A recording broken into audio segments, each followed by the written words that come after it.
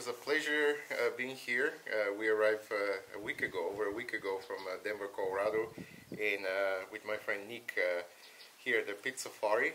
And um, I had an amazing experience um, hunting. it's been pleasure. We got six animals. Um, we got a kudu, springbuck, um, impala. then we hunt for zebra, and then we got a blessbuck. Um, had an opportunity to hunt for oryx, uh, which has been in my bucket list. Uh, uh, we did that for three days and uh, no luck. We couldn't have, we couldn't find the right animal. It was uh, windy, the weather was bad, uh, couldn't produce a shot. So we kind of leaving that for next time. But everything was amazing, starting from Pete. JJ, we got the cooks, all the Skinner trackers, everything was amazing, and um, I cannot thank them more than enough, you know, for uh, this opportunity.